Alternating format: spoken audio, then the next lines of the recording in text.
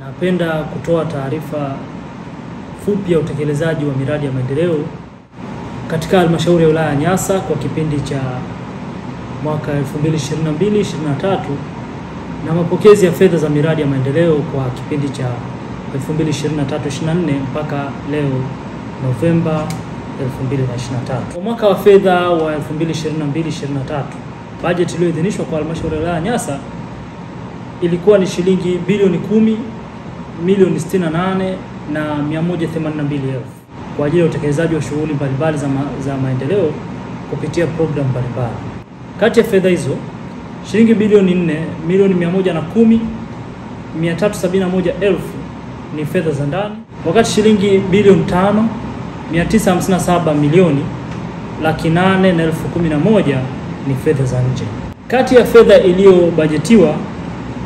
e, shilingi bilioni saba milioni mia tisa na tisa laki saba na elfu sitini na moja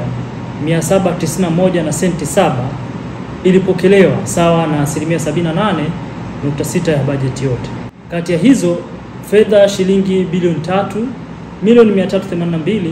539,210 na senti 27 zikiwa ni fedha za ndani, wakati bilioni 4 milioni 527 222,570 na senti 80 ni fedha za nje. Halmashauri ilipokea kiasi cha shilingi milioni 319 825,000 nje ya bajeti, hivyo kufanya mapokezi ya fedha zote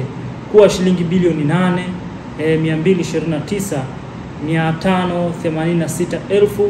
na 791 sawa na bajeti nzima iliyopokelewa. Kiasi cha matumizi ya fedha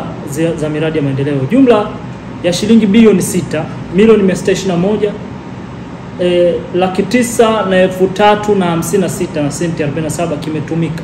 mpaka kufikia Juni 30, 2023 ambayo ni sawa na asilimia 80 ya fedha yote iliyopokelewa.